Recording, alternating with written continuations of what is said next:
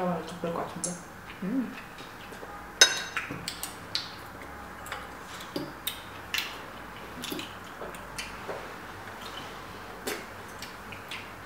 음.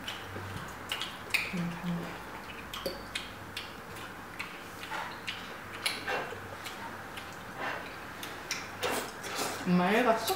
응. 어디로? 햄버거 먹었다며 엄마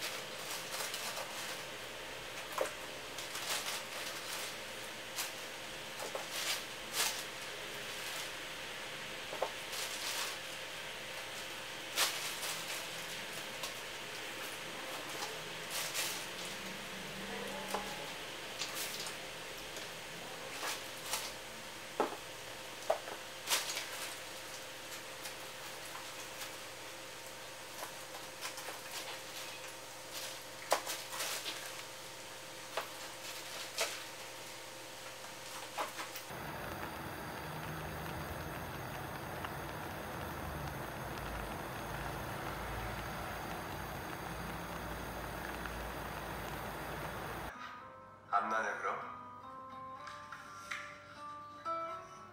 실물이 낫네